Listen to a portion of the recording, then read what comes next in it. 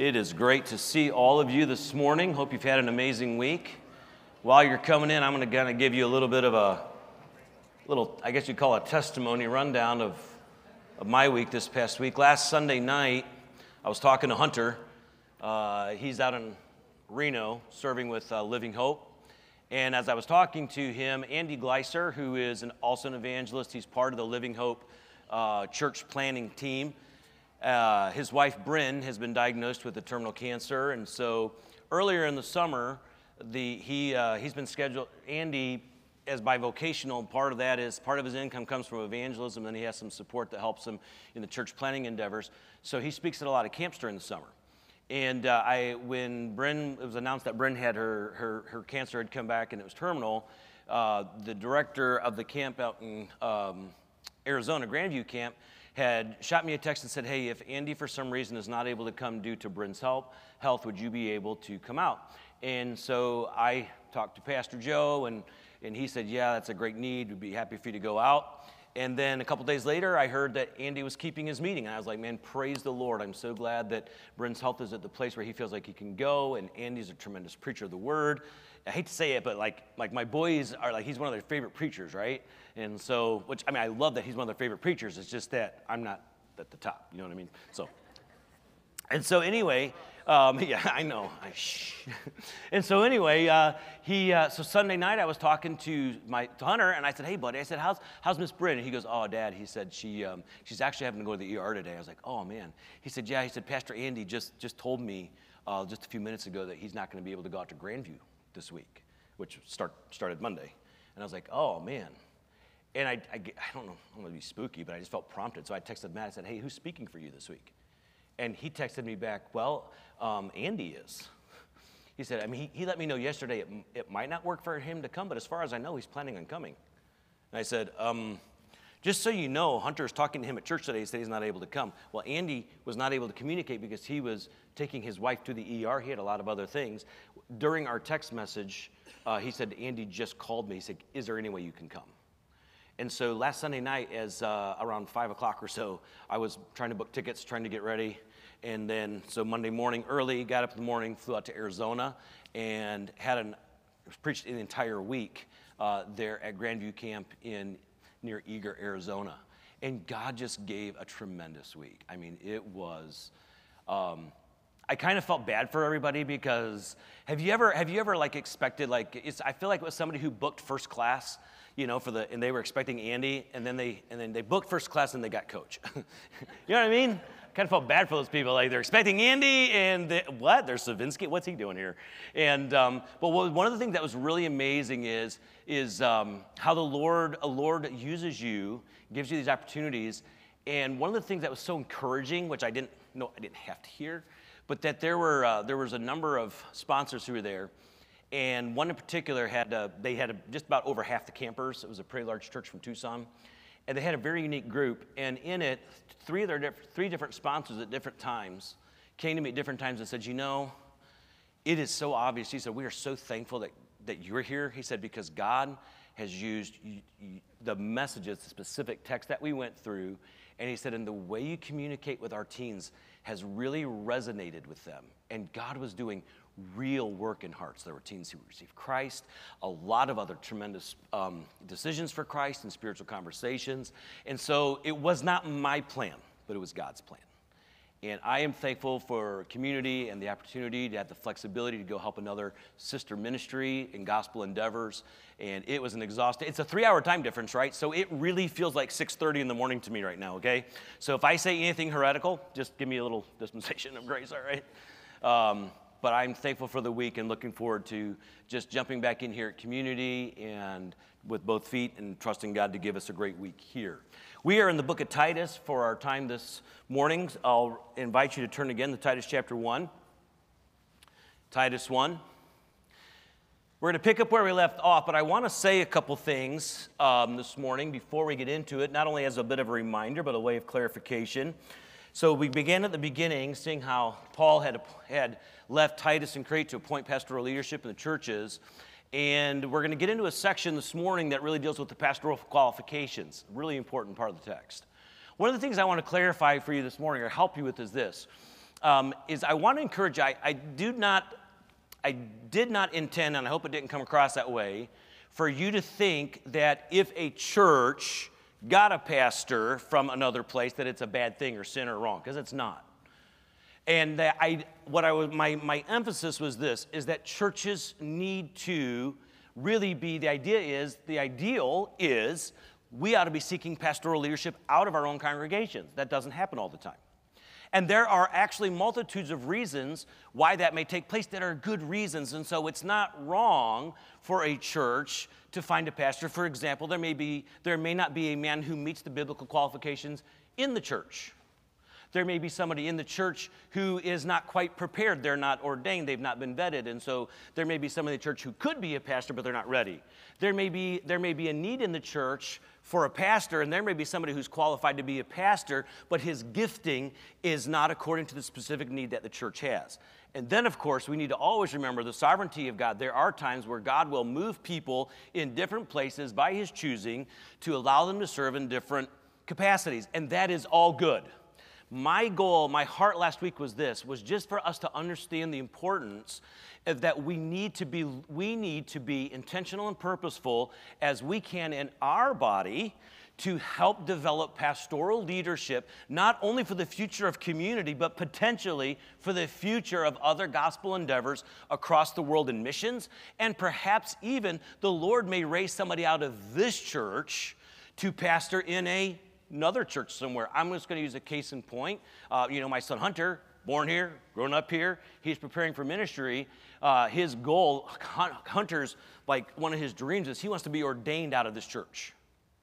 But he will probably not be like for his life be a pastor here.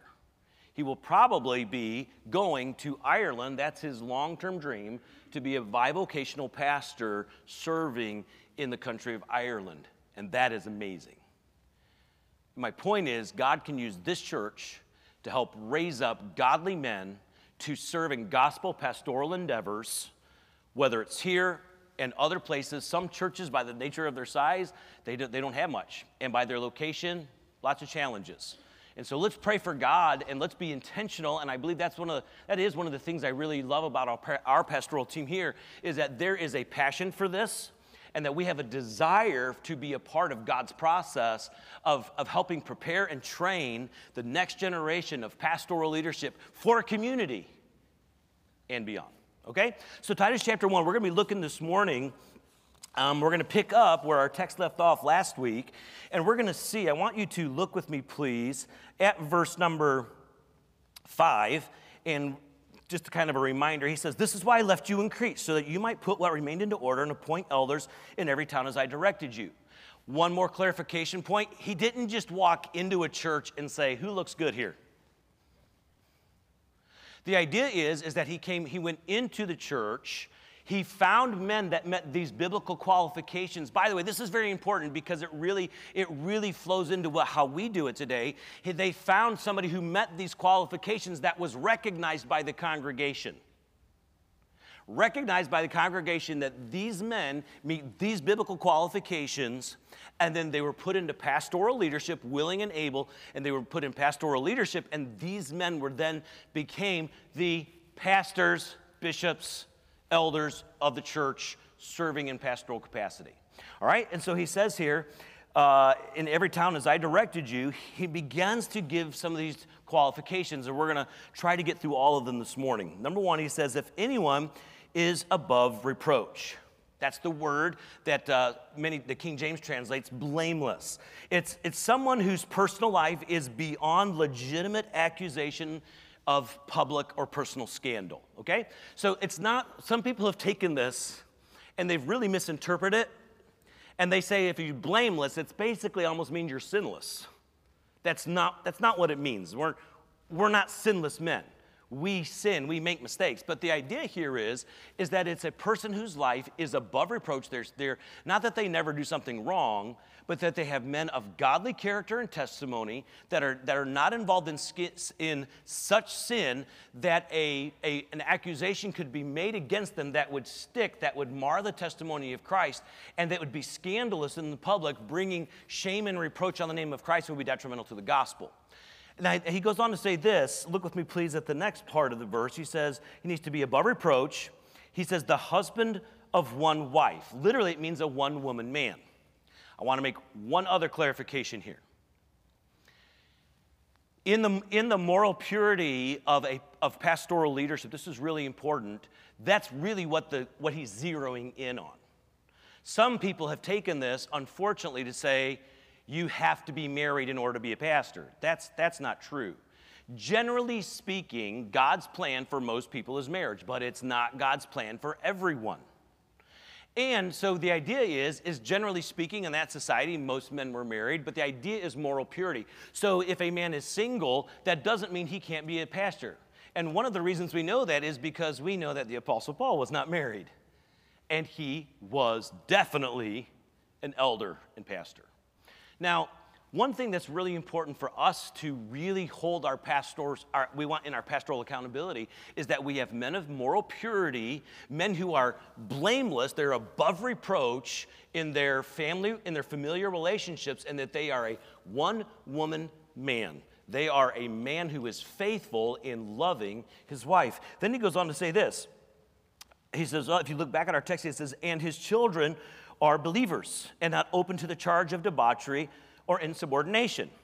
Now, it does not mean that a, a guy has to have children in order to be a pastor either. Who gives children? God does. That's his plan. But generally speaking, most, the majority of married couples have children, but it doesn't mean that all married couples have children. Again, that's in the sovereignty of God. So this is general. If they have children, this is to characterize their life. And he makes it pretty plain here. He says that they're not, they're, they're not accused of debauchery or insubordination. They, that means they, they, they know Christ. That's that they're believers. They believe uh, Jesus Christ. And they are not, they're not unruly. They're not accused of ungodly wicked, that's the idea of the debauchery, is engaging in these, we call them the dirty sins of our culture.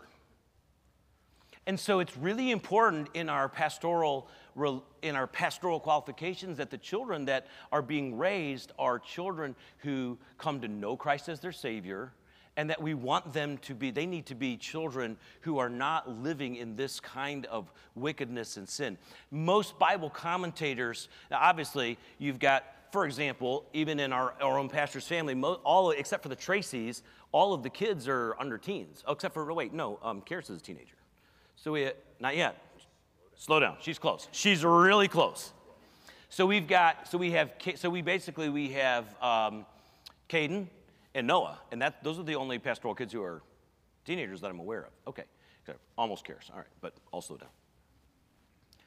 The idea here is this, is that it's not that the children, again, are, all children struggle with disobedience and misbehavior and those kind of things. That's not what he's talking about.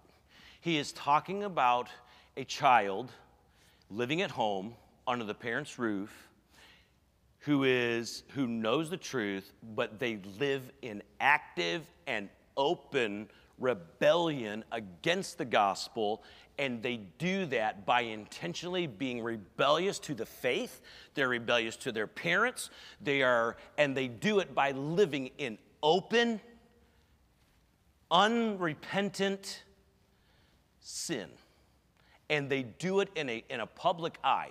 That's really what he's getting after and so he's really kind of laying out the importance hey, listen, we need to, we need, these are the, the beginning steps of these qualifications. Listen, needs to be a, a one woman man, he needs to be a, a, a pastor who uh, has children of the faith, that he's leading and shepherding his children in the faith. This is, praise the Lord, this is not as much anymore, but I want to make a comment historically in historical fundamental Baptist churches. There was a, a time in culture, specifically when my dad, uh, many of you know my dad, Jerry Sivnksty, my dad's generation and the generation after, they lived in a culture, and this may surprise some of you, but it was very common for pastors specifically and evangelists and many missionaries in that culture who had this philosophy. You take care of the ministry and god takes care of your family. And the, the most important thing to them was, their, was the ministry and so they would neglect their wives and they would neglect their children in order to serve the church. And my dad was one of the first, of it, first guys in his generation that I knew of who openly stood and fought vehemently against this. I mean, he said this is unscriptural, it's unbiblical. My dad says, here's kind of his little phrase he likes to use. He says, If I lose my family, I've lost my ministry. He knew that he had the priority of his wife and his children.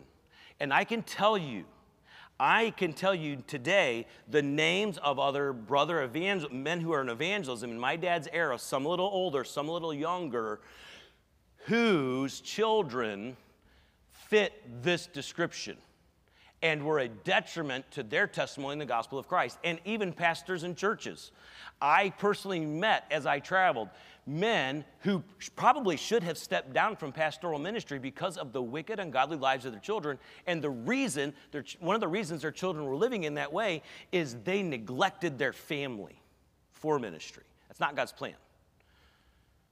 So that's a really important thing. And we want to make sure that our pastors, our pastors here, need to know that their wives and their, and their family relationships are of utmost importance.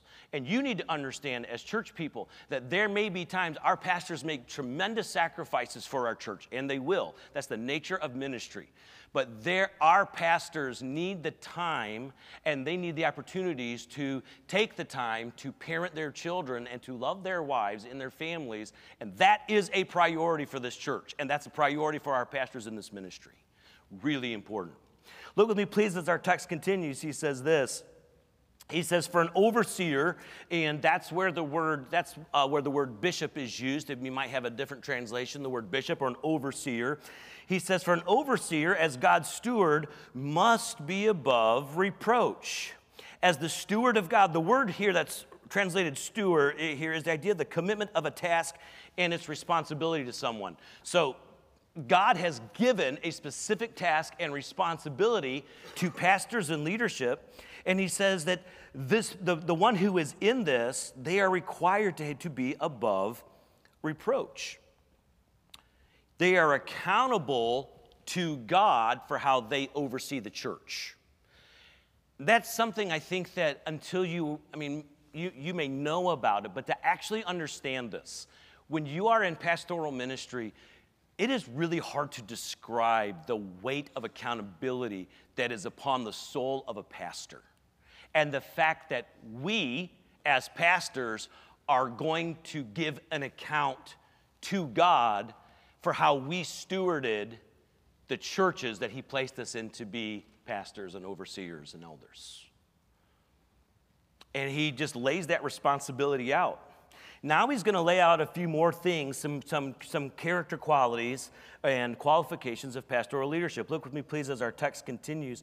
He says, he must not be arrogant or quick tempered or a drunkard or violent or greedy for gain. Here's this big list here. So he says he's not to be arrogant. The word arrogant means self willed or to be obstinate, to refuse to listen to others, to stubbornly hold to his opinions and pushes his rights and agendas on others. He wants, he wants his own way.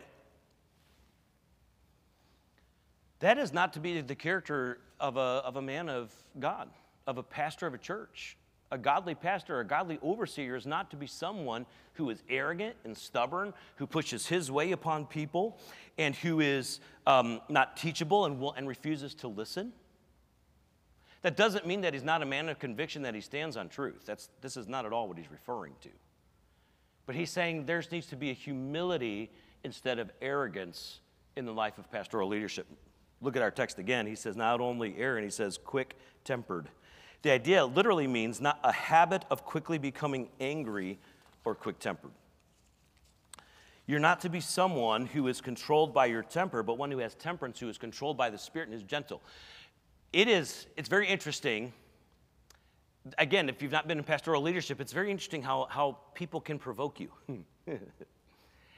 And you would be surprised. I, I, think some of you, if you ever were able to experience what it was like to be in pastoral leadership, and you were to see how, how the way different people seem to poke and provoke and to stir and to irritate, that you would see why this is put in Scripture. But he says you're not to be quick tempered. They're not to be soon angry. There's not to be a habit of quickly becoming an angry person. Matter of fact, it says not only is not to be quick tempered, he says they're not to be a, a drunkard, someone who is an alcoholic, someone who is given over to alcohol. Why? Because a person is not to be controlled of wine, but they are to be controlled by the Spirit of God. He says they're not to be violent. The word violent here is the idea of actual, like physical violence. And sometimes you need to go back into this culture a little bit and realize that back when this was written, violence was actually pretty common in their culture. Now, it's not the way you and I always think of violence. Like, we think of violence a lot of times, we just think of a knockdown, drag out, draw, you know, throw, throwing your suit coat on the ground and getting your shirt open and two guys getting their fists out and just kind of duking it out. Violence, many times in that culture, in that Middle Eastern culture, this is kind of funny, but it's like the, the tugging of the beard. Like grabbing somebody's beard, it's an insult, and grabbing their beard and, and pulling on their beard, the slapping of the face, the grabbing of the hair, the pulling of the hair. Sometimes it was a two sided grab, sometimes it was a chin grab, but there were different ways, and it could sometimes then degenerate into actual fist fights, wrestling matches, those kind of things. That's not to be the way pastors handle problems. That's not the way we're to shepherd people. this is, I'm, i will not give the name of the church. Do not ask me. When I, I, I hadn't been youth pastor here, I hadn't even been here a year. And I, I learned of a church in our area where the pastor of the church would settle his, this was well known. I heard this from more than one person, that the way the pastor would settle his disagreements with the deacons was fistfights in the church parking lot. And that wasn't 40 years, well, it was a long time ago, but that 25 years ago. But that was still going on when I was youth pastor here. And could you believe it? They were losing people. Can you believe that?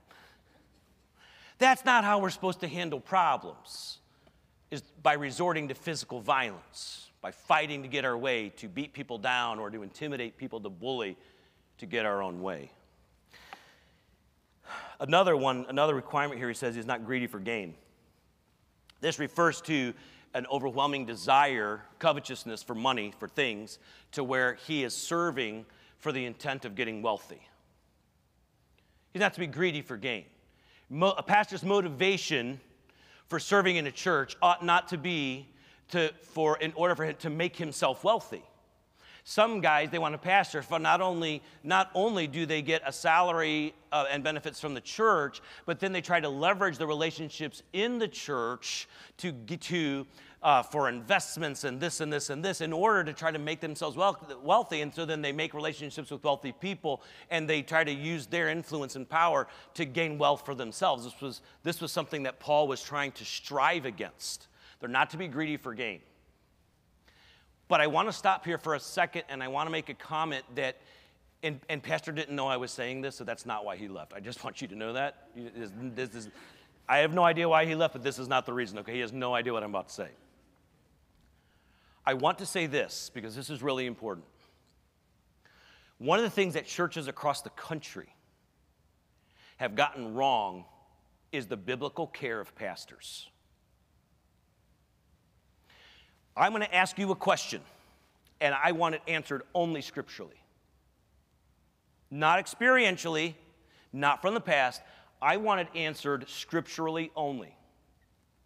What is, according to the New Testament, what is the church's number one fiscal, and we understand what the word fiscal means, right? Financial responsibility. What is the church's number one financial responsibility? What is it? If you're bold enough to answer, I, I'm, i know you know this, I'm not trying to scare you. What is it? What's the church's number one fiscal responsibility? Yes? Nope. But it's a good guess. It's important, though, it is important, but that's not the number one. God has ordained that they that preach the gospel should live of the gospel. The church's number one fiscal responsibility is to financially take care of their pastors so that they can give of themselves to the work of the ministry. That's the number one fiscal responsibility of the church. It's not a building, it's not even missions. Matter of fact, Scripture makes it very clear not only are they worthy of double honor, the scriptural principle that's stated in the Old Testament and in the New is this you do not muzzle the ox that treads out the corn. You provide for the one doing the labor.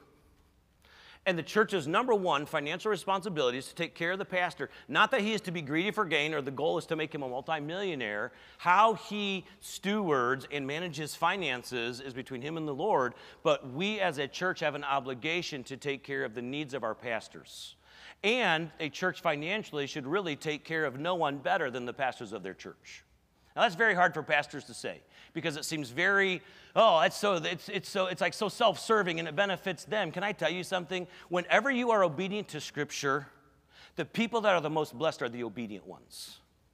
It's not self serving for a pastor to stand up in front of you and tell you that you ought to be faithfully giving and that the church's first responsibility is to financially take care of their pastors. It's not self serving because it's biblical. If God commanded it, it's not self serving. It's that basic. And yet we have men all across the country who are not being taken. I see this continually, unfortunately, of churches that almost look for reasons not to take care of their pastors. And they have this mentality that pastors are supposed to be poor and they're not supposed to have anything and they can't have anything nice. And if they look nice or have a nice vehicle or they go on a nice vacation, we should be suspicious about something because they're pastors. You know, it's okay for us to have all that, but not them. I had a guy one time walk up to me. It was so funny. He walked up to me in evangelism. He comes up to me and says, he was really kind of a snarky dude. He walks up to me and goes, Oh, man, it must be nice. And I, had a, I did have a truck, had a trailer. It must be nice having a big rig, driving around. You must be raking it in, man. I looked at him straight in the face. I said, I'll tell you what. I will, let's get a lawyer and I'll get a contract. I want to switch, I'll switch salaries with you. He goes, Yeah, right. I said, Let's do it. I said, I am dead serious.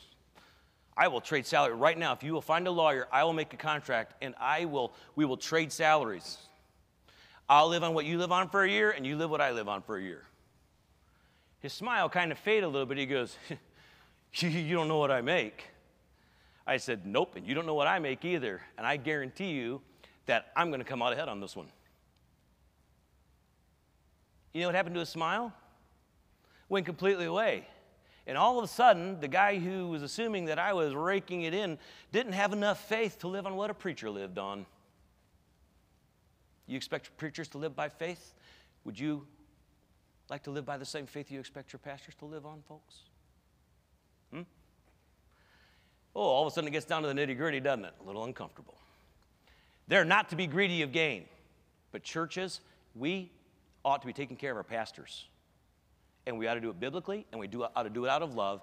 And we shouldn't just provide for their needs, we need to take care of them. We need to love on them. We need to go above and beyond just the basic requirements. We need to show them and express love in tangible ways to our pastors, encouraging them as they labor for Christ. None of our guys are getting rich here. That's okay. let's provide for their needs and let's encourage them and let's not make let's help them. But sometimes when you don't have stuff sometimes it gets harder to start start wanting a little bit more. Our pastors are responsible before god not to be greedy of gain. And we as a church are responsible to take care of our pastors. Let's continue. Look at this next these, now he gets into some real encouraging things here. So he's just listen he's not supposed to be violent not supposed to be greedy not to be an alcoholic not to be um, prideful but in contrast to all those things Here's some, here are some other things he's supposed to be that kind of are on the good side, the, con- the contrasting side. Number one, he says he's supposed to be um, hospitable. Literally means a lover of hospitality, someone who loves strangers, who loves to care for others, someone who um, is devoted to what is good and, and right. You know what? I, I want to. I, I, I've been here for 25 years, and I want to say this is. I am so thankful. I, I have in my tenure at community, Pastor Joe and Becky have been an exemplary model of hospitality. And I can say that for some for other pastors as well. But I'm going to tell you of all the pastors that have been here, the most hospitable ones that have modeled this. And I'm not saying the other one, I'm not, I'm not, I'm not poo-pooing on other people, okay? I'm just saying they've been exceptional at this. They model this. They love people, they love others. They, they engage personally in the lives of people. They have people to their home continually. They are engaging. They love others. They love strangers. They're not just loving church people. They're having people in their commu- in their neighborhood and, and other people. They're having other people in their homes, sharing Christ, sharing the gospel, pouring out their lives. That's hospitality. And we need, there was a, again, a, a, mentality back, even when I was youth pastor, when I began youth, being a youth pastor, and it was this pastors should not be close to their people.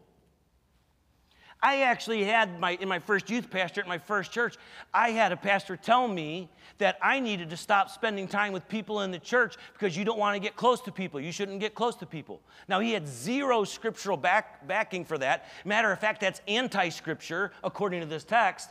But there was a mentality of you are not to spend time with people. They would never have people in their homes. They would very, if ever, rarely, they would not go into people's homes. They would only go in like a church function setting or go out to eat with a group. That is not what this is talking about. We need pastors who love people, who will engage personally in the, in the lives of their congregation. They're to love hospitality, who care intentionally for others. They're also to not only be hospitable, but they're to be a lover of good. They are to love what is, what is good. They're to, it can actually be, it's a little bit of a different kind of way to translate it, but, but devoted to what is best is a lover of good. They're devoted completely to what is right, to what is good, to what is best. They love good things. They love good, they love doing what is good and best for other people. They're devoted to themselves to doing what is good and best to others. Not only are they lovers of good, they're self controlled, which is the idea of being sensible, that they have right priorities, they're thinking right, they, are, they, can, they have the ability to, con, to, have, to exhibit self control, temperance in their lives, and it comes out in their in their families and their finances and their attitudes and their desires, but it's, it's a desire of a personal discipline, self-control, that they think right, they have, they're able to put their priorities, they're able to think rightly about life and things, and they're able to manage all of that in the context of the local church. Not only are they to be self-controlled, but they are to be upright, which another word of that is just. So they are they love truth and they want to be obedient to Scripture. And so, what, in other words, instead of being a respecter of persons that says, okay, you know what, I like this person better than this person, and so I'm going to treat them differently because of how I like them, instead of doing that, they're going to do what's just and what is right by treating both according to Scripture. Does that make sense? So, so say, just say, for example, the guy, there's a, somebody in the church that just naturally gets along with the pastor pretty well, and maybe they've developed a good friendship, and they're involved in sin. And then there's another man in the church that the pastor has, that just because of just kind of personalities and different things, there's been a little bit more conflict, and they don't, and there's there's not that same close relationship, and that man's involved in the same sin. The pastor is going to deal with both men the same way biblically because he is just, because he chooses truth. He wants to do what is right. He's doing what pleases God and what is just according to Scripture. He's allowing Scripture to dictate how he pastors rather than his feelings. Now, then he goes on to say this not only is he um, a person who is um, just, but then they're, they're holy. They're devout, they're righteous. Um, sometimes when people look at it, they're a holy man. Have you ever? It's really funny how a guy who has a collar on looks holy. Holy, right? This is not about an appearance. Does that make, are you with me? It's not about an appearance that he's trying to give. It refers to a character and manner of life. It does not mean that he never sins or that he's perfect. The idea of the word holy is that it is a person who is devoted to righteousness and they're opposed to unrighteousness and the pollution of sin. That's what they oppose. And so, even in their own life, when they sin, they're, they're consistently confessing and forsaking it, and they're seeking to become more like Jesus Christ, allowing Him to change them through His Word. And as, his, as God's Word reproves and rebukes them of sin, they have a, a character of desiring and seeking to be more like Christ and living a life that is against sin. not only are they to be holy, they're to be um, disciplined. The word temperate, to have control over yourself, to mastery, to be self disciplined. Um, we kind of we've already talked about it just a little bit but the soberness the idea that's kind of more in the thinking part of a person. Um, but it's the here the temperance is kind of really in the actions. They're able to control it. They're in every area of life. Sometimes it's their temper sometimes it's their finances. It whatever it may be they're exercising discipline and self-control as they're surrendered to the spirit. They're obeying the word of god and they're not they are a, a person who is committed to obedience even when that means restraining either A, selfish, or B, sinful desires, or even the comfortable thing. They're going to do what is right. They're going to do what is difficult and do and fulfill their obligations to Scripture, even when it may not be easy, when it may be difficult, when they don't feel like it, because they are a disciplined person, a person of self control who doesn't live by their feelings, but they're walking by faith in obedience to Scripture. Look with me, please, back at our text he says this He must, and this is really an important part of the text, he must hold firm to the trustworthy word as taught. He must hold firm. It is a it's a command, it's a requirement. This person, the, a pastor, is to, it's a strong commitment. The idea of holding fast is like the death grip, right? Death grip on truth, death grip on truth, holding with all of their might, not ever letting go. But what is he holding fast to? To the trustworthy word, or it could be translated the faithful word. That's the word of God. By the way, God's word is faithful because it came from a faithful God, and it is this in the, the word of God that came from a faithful God is the faith to which we cling to. What we believe to be true about God and His Word, the gospel, that's what we cling to. And I want to say this we need pastors who cling firmly to the truth rather than tradition. We need pa- that's, that's what we cling to. We cling to it. A man who is has a bulldog vice grip on truth, who has committed to holding fast to it. And it says, as he has been taught, if you look back at the, at the, at the text, as he has been taught, in other words, according to the sound teaching that he had received. So he's holding fast to the, to the truth of God's word that he had been taught. He's clinging to it. But what he's clinging to most, and the wording is intentional, he's holding fast to the faithful word. He's holding fast to the word of God. And we need in our church, and we need to pray for our pastors to be men who have a bulldog grip on the truth. Then he says this look with me, please, as our text continues said he may be able to give instruction in sound doctrine this is one of the themes of titus is sound or the word sound can be translated healthy doctrine we need he needs to be able to, he may be able to give instruction in sound or healthy teaching, teaching of the scripture, and also to rebuke those who contradict it.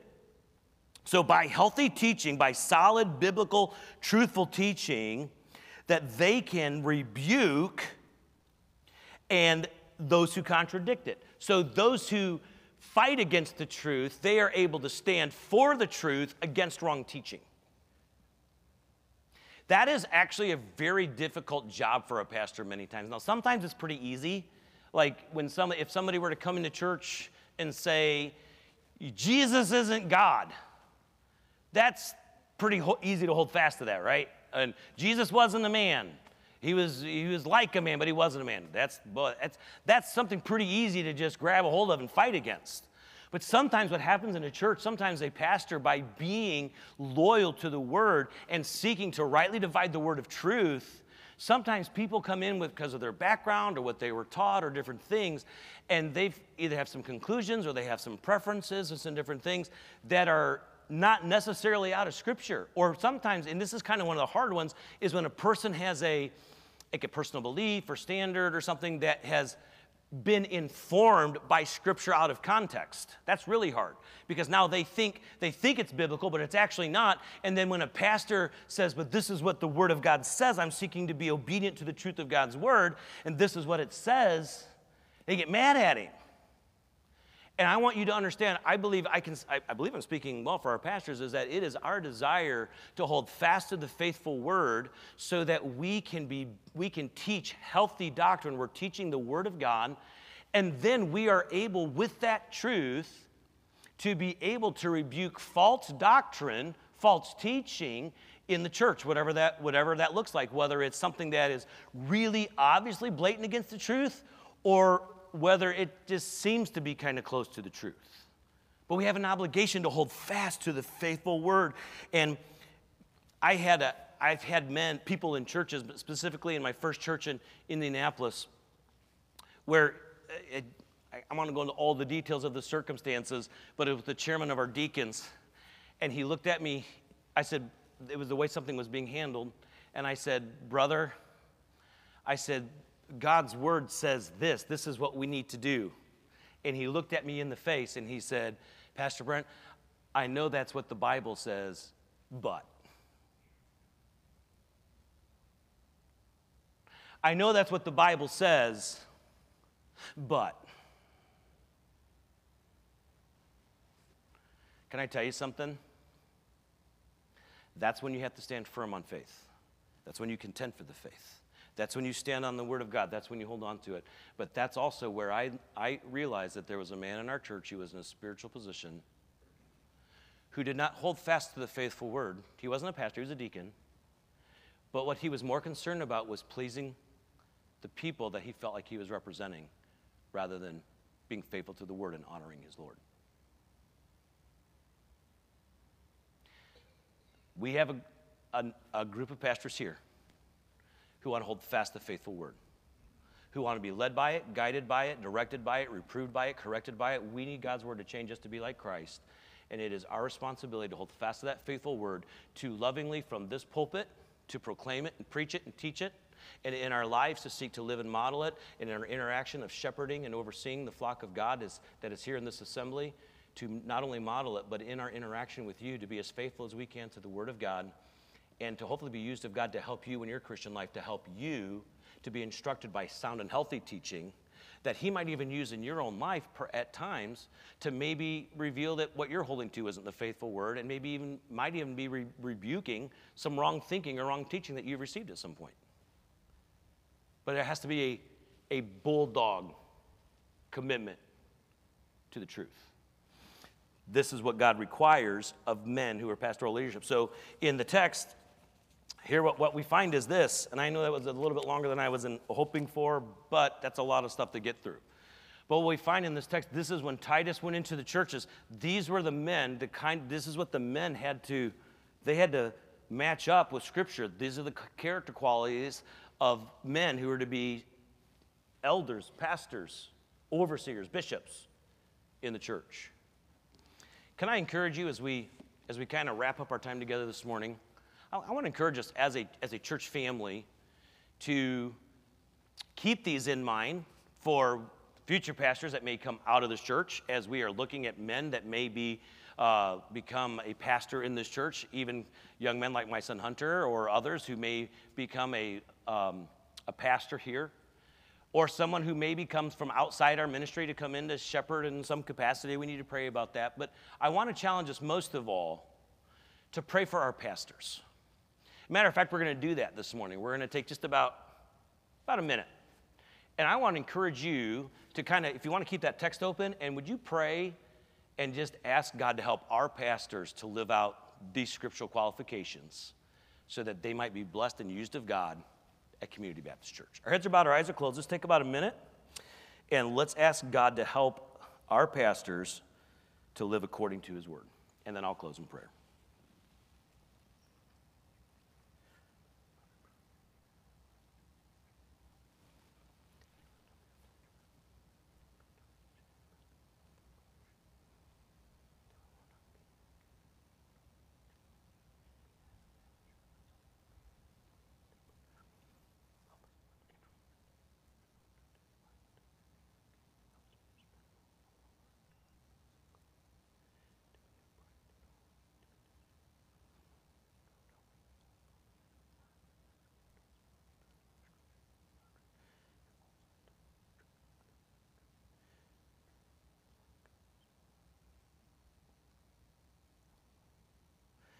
Father, this morning I ask that you would help the pastors of Community Baptist to be men above reproach, faithful to their wives, to raise their children to know Christ and to walk with Him.